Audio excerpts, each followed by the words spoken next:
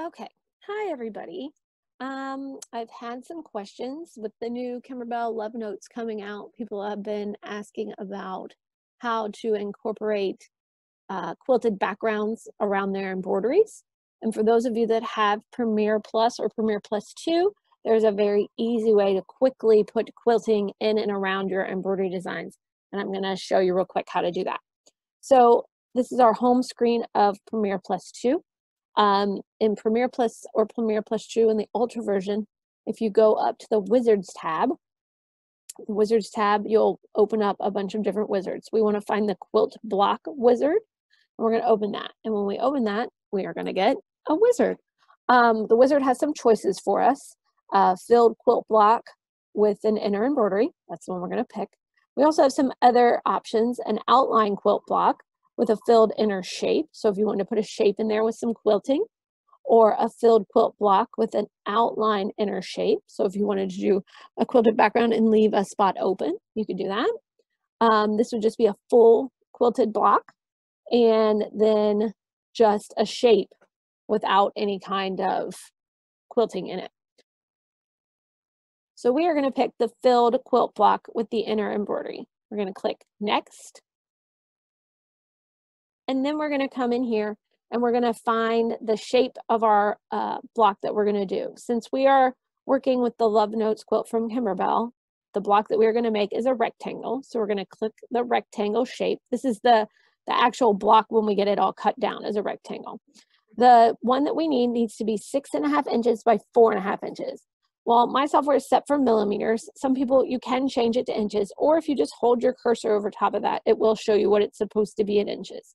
You can do just hold the cursor down and check, or you can calculate it. 25 millimeters equals an inch. So if I need six and a half inches, I'm gonna need a little more than 150 millimeters. So if I put in 160, I'm at 6.3. Let's make it a little bigger, six and a half. And then my B side, I need it to be four and a half. So I'm already at almost four. I'm just gonna notch it up a little. Keep going up, moving my cursor over to check myself until I get it right where I wanna be. Let's try one more up. That's a little bigger, so we'll go down. Actually, yeah, we'll do down. So then this spot right here and include a cut line around my quilt block. So what that means is it the embroidery design will actually stitch an outside line around this design, showing you where you need to trim up your quilt block. Now, um,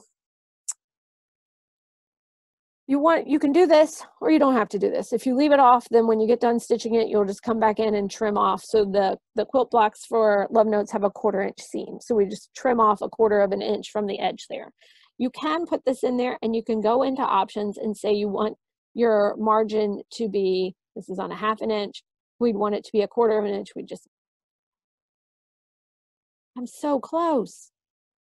Right there, perfect. I say, okay, so now if I go in, it's gonna actually put another line on the outside of this that's a quarter of an inch away. So I click next. Now it wants us to put our embroidery design in. Um, I'm gonna choose my embroidery design and say open. Now my embroidery design is the wrong direction. So I can come in here and I can actually type in and rotate that design the direction I want it to be. I could also mirror it left or right or mirror it up and down. Then it's gonna ask me my outline. How far away do I want my margin to be? So how far away do you want that quilting to be from your design? Do you want it to be close, right up against it? Eh, probably not. You do want it to have a little bit of space out. So you determine how far away you want your quilting to be from your design.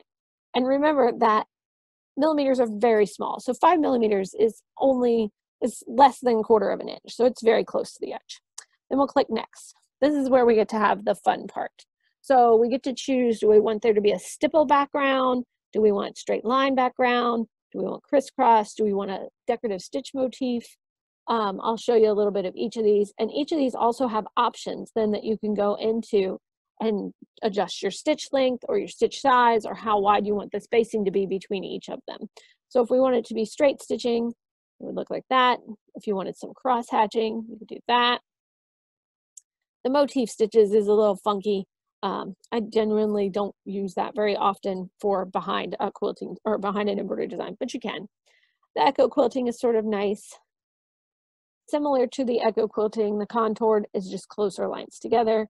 And then um, your shape, which you can go in and change. Most people are probably gonna pick stipples. So we can go in there, we can go into the options. Do you want uh, curved or straight? How much do you want your gap to be? I'm gonna do curved. Let's make our gap a little smaller just to see what it's gonna look like. I wanna keep it at a running stitch. Um, and 1.5 millimeter, ugh, I don't really care for a 1.5 millimeter personally. I would at least go up to a two millimeter stitch. I do not like that little short um, stitch sometimes that's used in embroidering. So we adjusted that and we've got a little bit more stippling than we had before. Let's make our gap a little bit bigger just so we can see what it's gonna look like. Oh, it's a little too big. So you really sort of have to just play with it so you can get it the way that you want it to be. And when it's once it's the way you want it to be, oh, I want mine to be a little smaller. Once you've got it to the way you want it to be, then you just, oh, that's very fun. Then you're just gonna click finished and it's gonna pop it into your hoop for you. So now, most likely, you don't have to do this, but you can go in and pick the correct hoop size for what you need. Let's just pick that one and see how it fits. Oh, a little too big. Uh, let's do 240 by 150. There we go. So then what's going to happen is let's go to home and we will go to design player.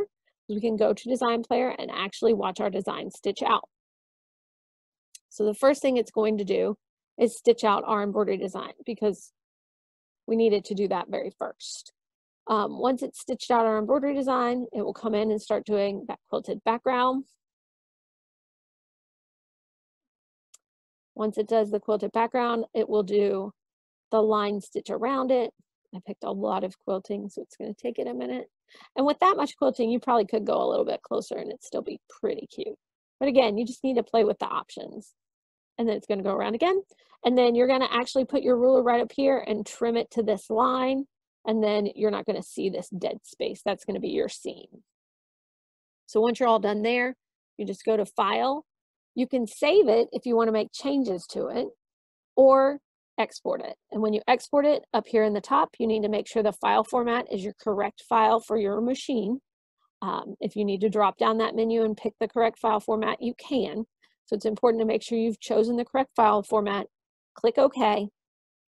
And then once you've clicked OK, again, remember where you've saved your design. Also very important to remember where you saved your design and name it something that you can remember what it is. Then once you've saved it, you can go ahead and stitch it out. So that's how easy it is to put quilting in and around a pre-existing embroidery design. Um, remember the important parts are to make sure that you make your quilt block the size you want it to be when you're done.